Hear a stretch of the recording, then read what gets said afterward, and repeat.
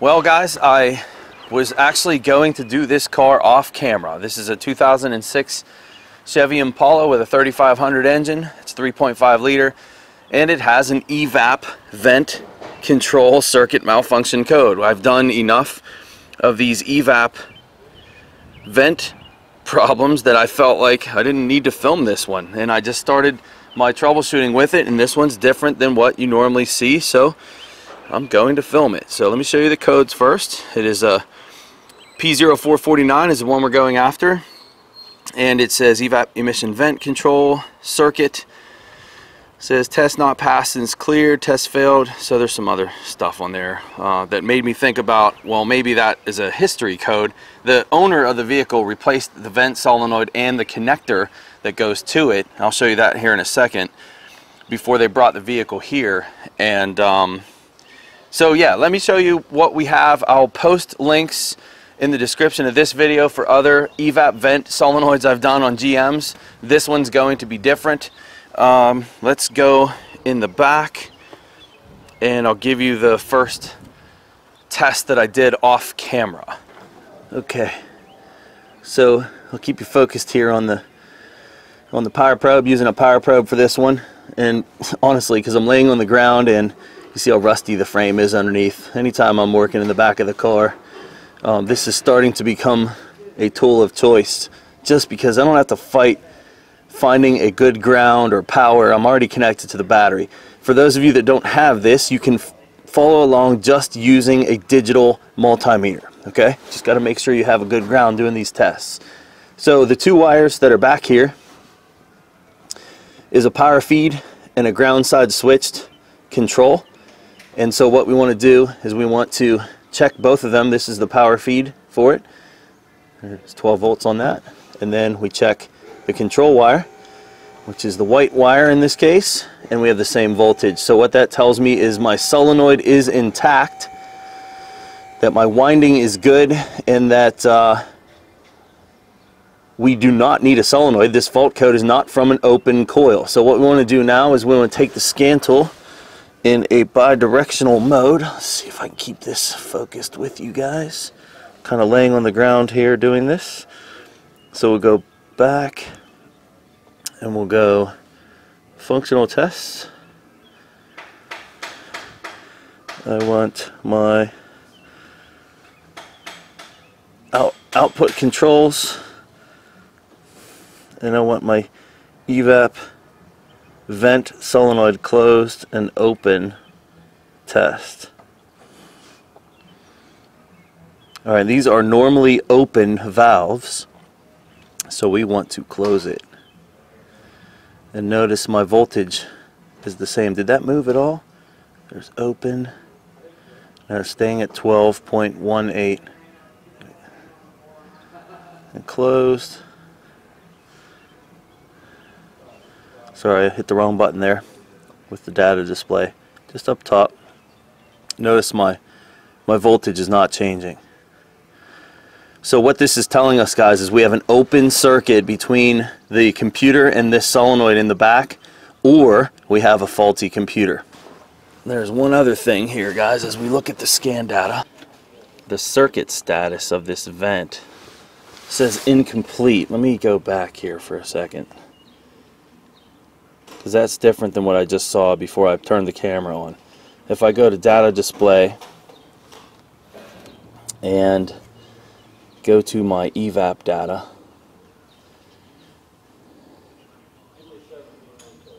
yeah right here it is it is listed differently so this evap vent solenoid uh, short to ground or open this is the computer looking at the circuit and it's telling you just with the scan data that it's it's uh, seeing low voltage so with the ground side switch circuit we should the computer should see 12 volts with the circuit off and near 0 volts with the circuit on. So right here on the scan tool it's actually telling us that, sorry about that, that we have a problem in the wiring. So I need to find that wire at the computer or I need to do some visual inspections along the way. And honestly guys, this is why I turned the camera on right here. I mean, something is broken in between the computer and this unless the owner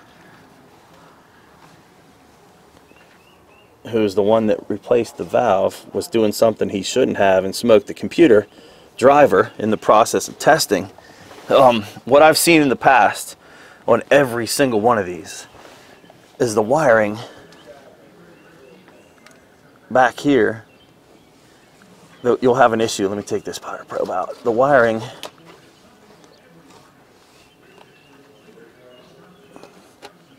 You'll have a problem right right in the connectors themselves like right in here. They'll actually be broken inside the insulation. So you guys that are watching this that have an open circuit or low voltage code this this code for these evaps if you read 12 and 0 that's suggesting an open in the solenoid and you need to replace the solenoid if you're reading 12 and 12 like I have with this same code then you have an open in the wiring and oh sweet did you see that that wiring was not uh, I just got lucky there and pulling on this. And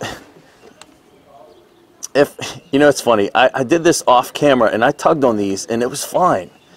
Um, and that's why I turned the camera on. I said, man, I'm going to have an opportunity to show maybe a bad computer driver or an open in the harness. And so what I was just talking about is every one of these I've ever seen, when you have a problem, it's it's been right in this area. And, and there it was right there. So I just was tugging on that, not hard at all and um, that uh, is why I'm setting that fault code. We need to fix that connector and I can prove it to you. What I'll do is I'll strip the wiring back here and we'll connect um, our uh, power probe and I'll show you the driver test. And, and, honestly, you can just use a regular incandescent test light too would work. Um, let me show you that test before we uh, wrap this up. One more thing guys, um, take a look at the connector and uh, you can see the green cruddies that are inside of that. So that's been broken for a while. You know, the funny thing is, is it, it just, uh, when you look at the wiring connectors, they look fine. And again, what you want to do is you tug on them. And you saw what happened. So here's my setup using a jumper to my power probe now. And I stripped the uh, connector back on the one side. I'm checking the computer side of this circuit now, okay?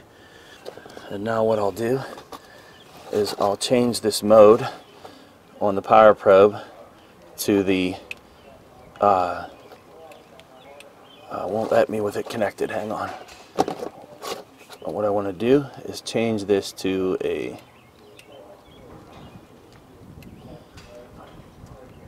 how do I change it oh learn the tool there, Danner. I want to change this to my driver test. Okay, so now it just switches the tip of this uh, to a. Uh, actually, what it's doing is it's taking it through the LED bulb and then putting the ground of the bulb, which isn't grounded yet, on this side of the circuit. So you're only talking about, I think last I checked, it was around 30 around 30 milliamps. So I had some questions on what the tool puts, what kind of load does it put in the driver mode, okay? Um, notice the scan tool at the same time, I just plugged that in. See what it said? It just dropped right there to uh, incomplete. Now I clear the codes, that'll go to okay. But um, notice what we're doing is we're, we're just essentially putting a bulb, the LED bulb of the tool, as the coil, as a good coil. And now when I energize the circuit, let me show that to you. Let's get out of here. And uh, functional. It's so hard to do laying on the ground. Output controls, evap vent.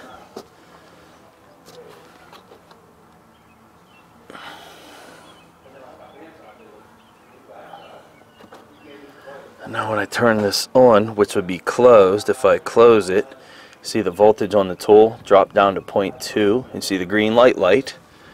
And I turn it off. Alright, so how is my computer driver as I'm turning this on and off? So closed is on and open is off. Again, the tip voltage on this. What you're reading would be the ground side of the LED bulb on this tool. And when the computer grounds the circuit, you see that voltage will drop and it's putting about, well, whatever the current draw is of that little green LED bulb, which is uh, the owner's manual of the tool says less than 30 milliamps. So computer safe for sure. And um, you know, you're using the tool to substitute the coil in the car on the solenoid. That's what that is. So this would be now the tool is feeding 12 volts through the bulb and the bulb does not have a ground right now. So with no current flow, you have no voltage drop and that's why you're reading this number. And uh, so yeah, pretty cool test. And for you guys that need more info on what I'm talking about, power ground side switching, again, I will put descriptions in the link of, I will put links in the description of this video uh, on other EVAP ones that I've done and I'll also include a power and ground side switching video that you guys can watch. Um, so now at this point the last thing I need to do is I need to fix this connector and uh, that's not going to be very fun but maybe I'll show you how I do that. one last thing. One last thing before I do that. See the incomplete on the vent circuit status. So if we go out, let's uh, exit. And what we want to do is we want to clear these codes.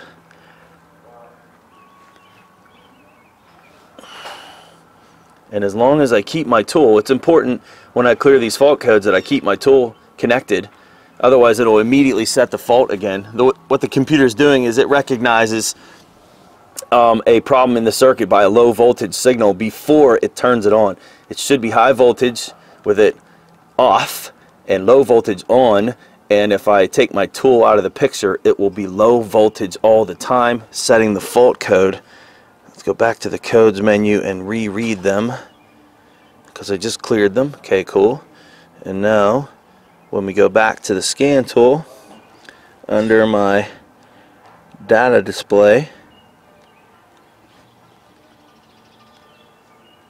and under my evap data, you're going to see that my circuit is going to say OK.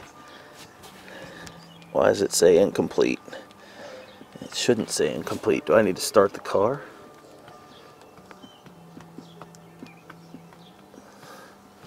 It should say okay right now.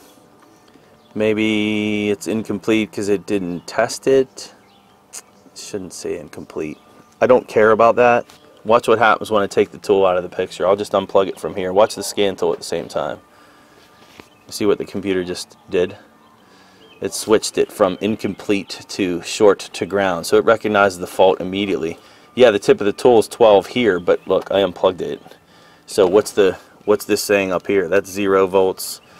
Short to ground or open would be what the computer would see on that wire as far as voltage with the circuit at zero.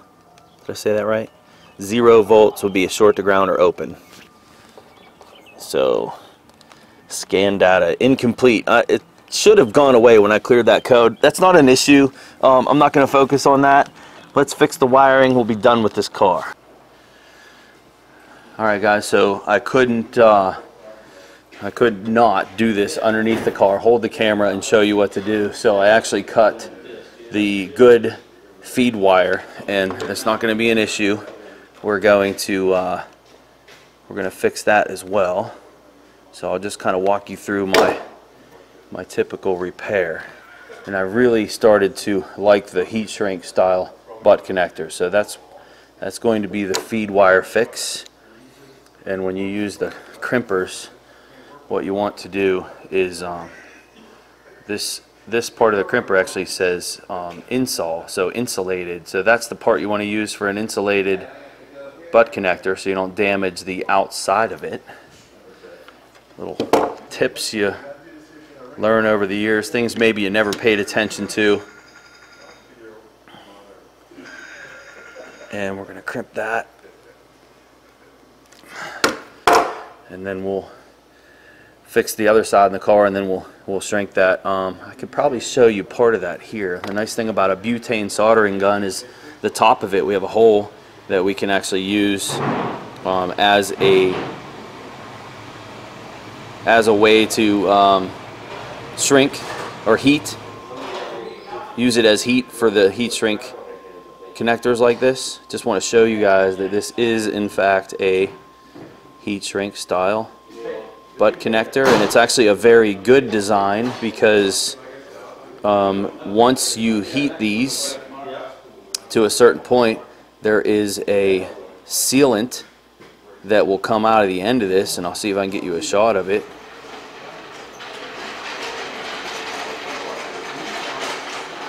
Okay?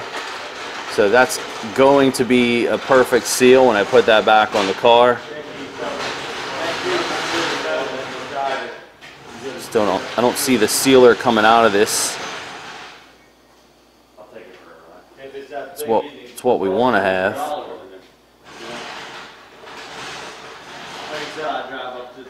and then we'll do the rest of that on the car alright so now fixing the the bad saddle. Leave the soldering gun go there what we want to do is take this connector apart. Alright, so take that blue connector off the end and now we need to release this from here. This can be a little bit tricky. Um, what I'm going to use is just a T-pin and um, if you look at the connector there's a um, the side the terminal goes in which is here and then just behind that is a little cutout and so what we want to do is push this into that cutout and uh, try to release the, there's a mechanism inside that we want to fold over. Kind of, I'll show it to you when I get this apart. So I'm putting pretty good tension on this. This is kind of a little bit big of a pin. I think I got it. And then once you release that from that side, then you pull this out, okay?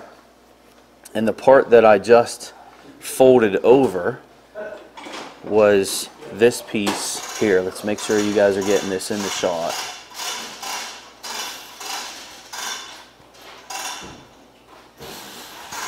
Okay, so the piece that I just, when I went down inside the connector, I was going between here and here, and I was forcing this piece right here down. So when you're done, we want to bend this back up. So that's what you want it to look like when you put it back in the connector. And again, so what I was doing from the outside is I was taking this pin, I was going down inside and I was forcing this part down so I could pull it out of the connector. Alright, so now what I'll do is um, should have enough. I, I, I want to leave this insulation here well, we'll reuse that. I'm going to pull this out. So I'm just going to slide the weather pack seal out. Okay. And then we will strip this insulation away. You can you can see the sealer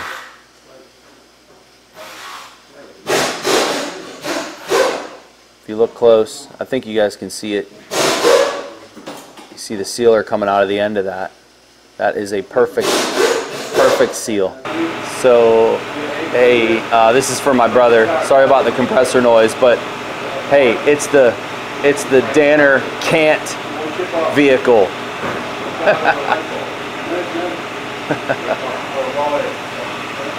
so that's for you, bro.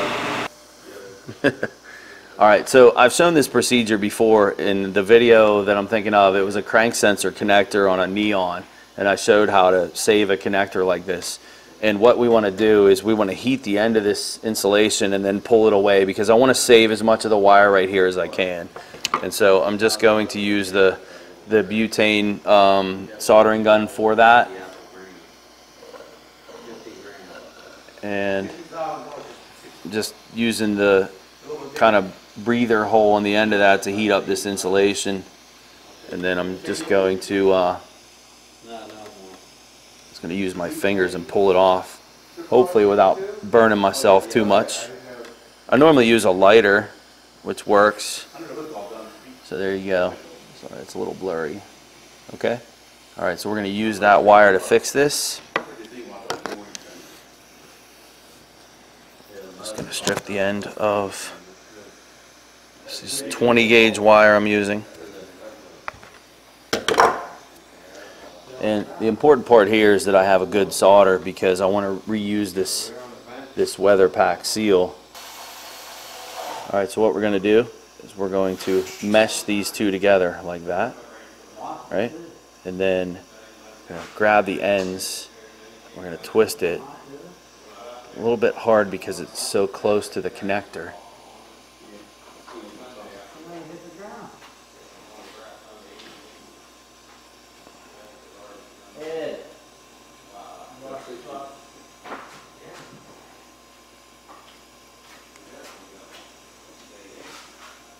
Want this to be tight. That's about as tight as I can get it.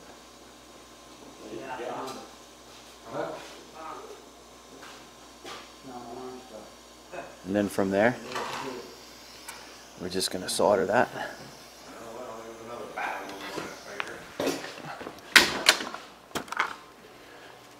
Hey Pete, you think you could get um, any thicker solder here, man? I had some nice stuff. You used it a lot. I know you guys are going to say, clean your gun. I get so much crap for my soldering. It's a butane soldering gun here, people.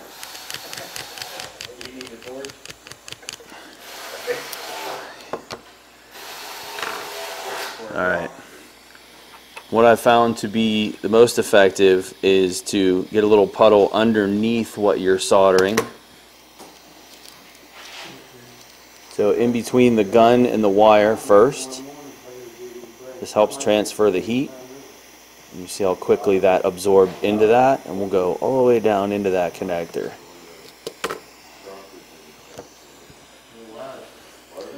And I might not be able to get that weather pack seal in there because I just soldered that to the housing underneath. It'll be fine though. Now we're good. Alright, so now put this back on.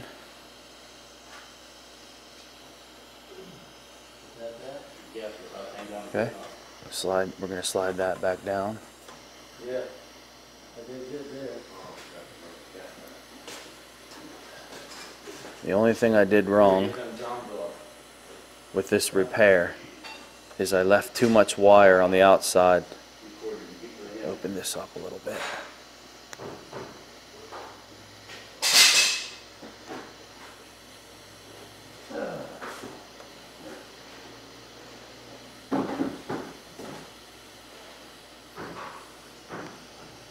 Okay. We'll put some liquid electrical tape over top of that. Just kind of crimp this back down.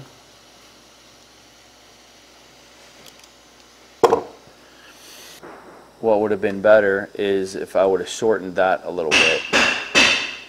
I might be able to get away with sliding this insulation down. Probably not. We could try it.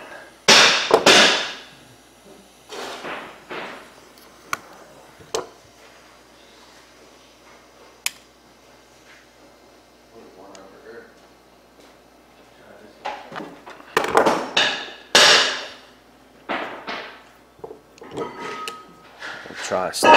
I'll try to slide it down.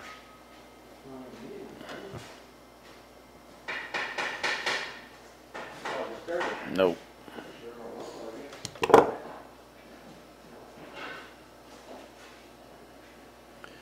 All right. So now I could use some heat shrink over that too. But now we're going to put this connector back in, making sure we put it in the right direction. So I want the locking tab to be on the top. Just going to push that through. There. We have one repaired connector. So now the only issue is I got some bare wire right there. I'm gonna use a little piece of heat shrink.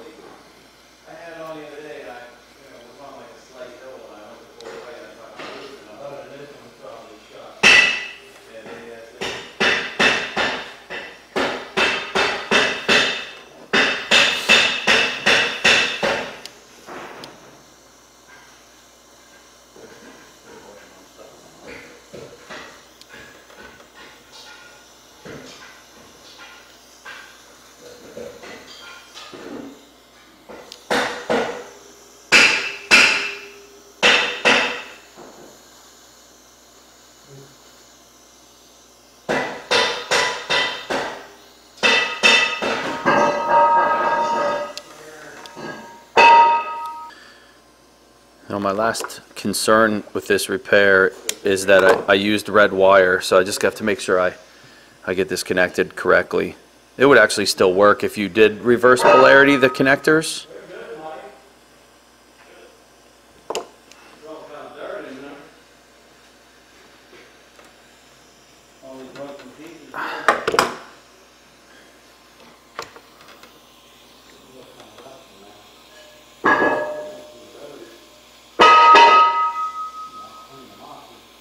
What are you gonna make all that noise for, Pete? Uh, Get on film.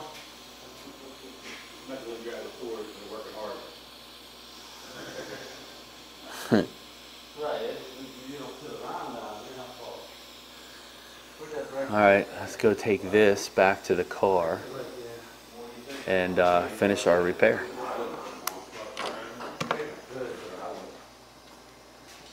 Oh, one last thing. Um, get you a shot of the inside of that.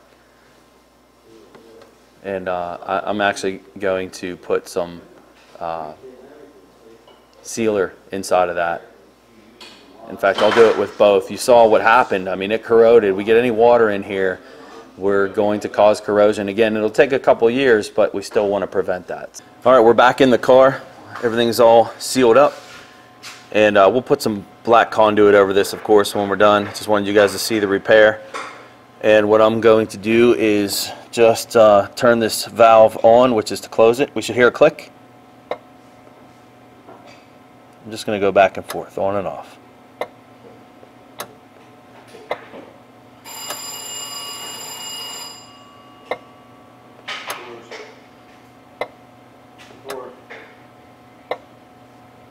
Okay?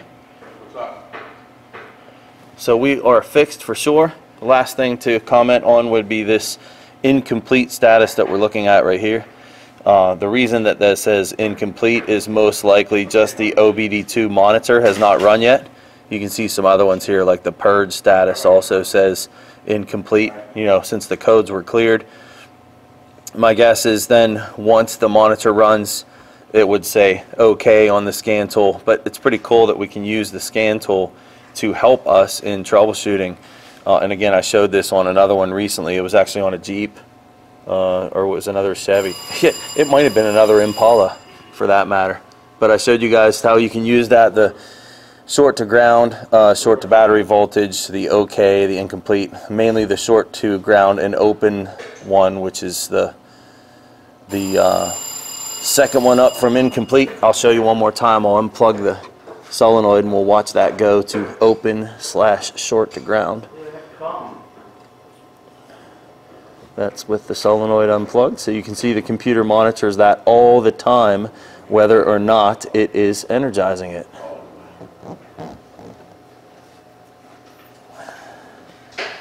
And that is plugged back in.